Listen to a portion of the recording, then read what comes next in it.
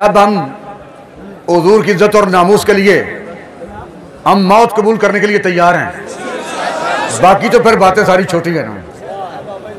बाकी छोटी बातें लेकिन जुल्म की इंतहा हुई। इसमें कोई शक नहीं। जुल्म की इंतहा है। वीडियो नज़र आ रही है।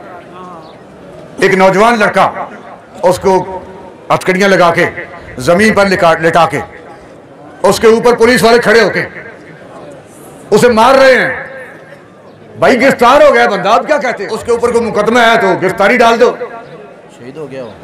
लेकिन उसे लिटा के उसके ऊपर खड़े होके उसे इतना मारा इतना मारा है इतना तशद किया है कि वो मार खाते खाते शहीद हो गया। फिर भी जी ठंडा नहीं हुआ।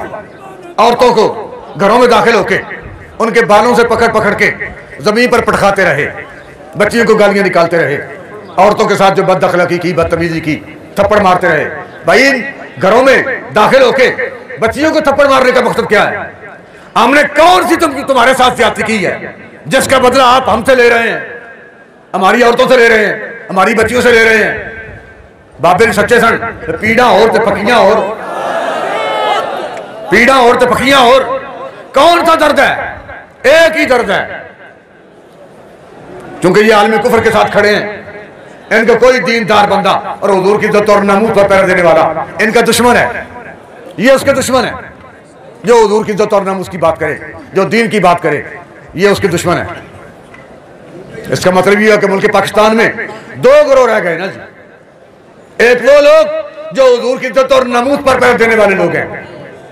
हजूर से मोहब्बत करने वाले लोग हैं। और दूसरे वो लोग हैं, चंद हज़ार लोग जो मुल्क पर काबिज बन के बैठे हुए हैं।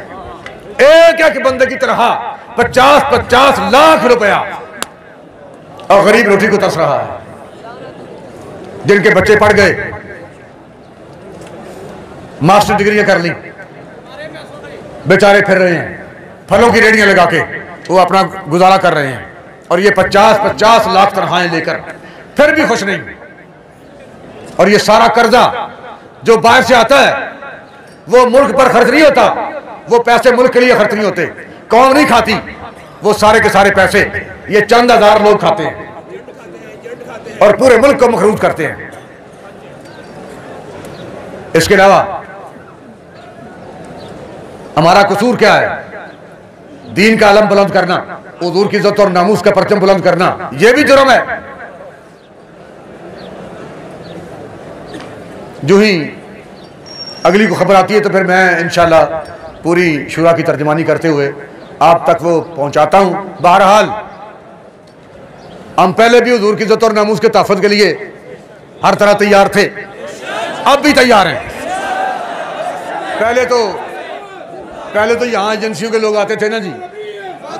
तो लोग, लड़के इतराज़ करते थे, कोई बंदा इतराज़ कर लो जी, ये बंदा एजेंसी का है, ये बंदा एजेंसी का है, ये जनाब एजेंसी का बंदा है, ये फ़िल्म बना रहा है, ये बयान रिकॉर्ड करता है।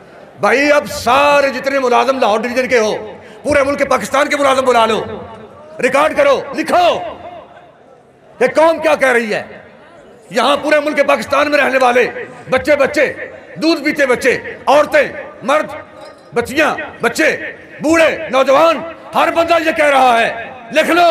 क्या हजूर की इज़्ज़त और नामूस के तहफ़ के लिए अपनी जानों के नजराने देने के लिए आते हैं?